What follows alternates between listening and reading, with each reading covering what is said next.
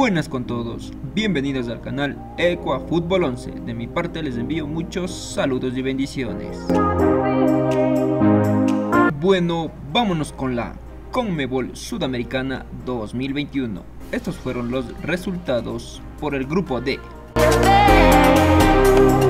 En el Gonzalo Pozo Ripalda, Auca 0, Atlético Paranaense 1. Por su parte, el Metropolitanos cayó de local 2 por 3 ante el Melgar de Perú. Una vez finalizada la primera fecha del grupo D, la tabla de posiciones quedó de la siguiente manera, con Melgar con 3 puntos, Atlético Paranaense con 3 puntos y Metropolitanos y el Aucas con 0 puntos. Por el grupo G de la Comebol Sudamericana, el cuadro eléctrico obtuvo una importante victoria en su visita a la Argentina, de 2 por 1. En Brasil, el club Bragantino ganó 2 por 1 al Deportes Tolimas de Colombia.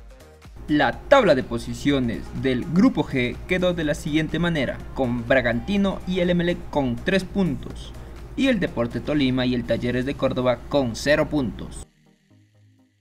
Bueno, vámonos con la participación de los equipos ecuatorianos en esta primera fecha de la Copa Libertadores 2021.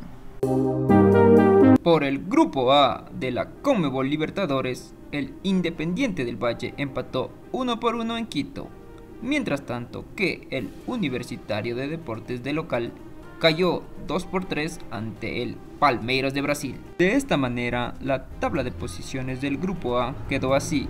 Palmeiras primero con 3 puntos, Independiente y el Defensa y Justicia con 1 punto y el Universitario con 0 puntos. Por el grupo C de la Conmebol Libertadores, el Santos de Brasil cayó de local 2 por 0 ante el Barcelona Sporting Club mientras tanto que el 10 Strongest de La Paz cayó 0 por 1 ante Boca. Y la tabla de posiciones del grupo C quedó de la siguiente manera. Barcelona y Boca con 3 puntos, el 10 Strongest de La Paz y el Santos con 0 puntos.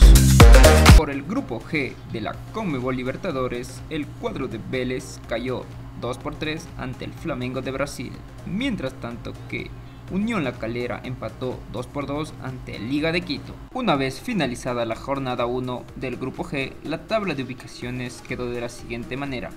Flamengo 3 puntos, Liga de Quito y la Unión La Calera con 1 punto y Vélez Darfiel con 0 puntos. Hey, si te gustó el contenido de este video, no olvides de apoyarme con un like, un comentario y una suscripción. Conmigo hasta la próxima. Gracias.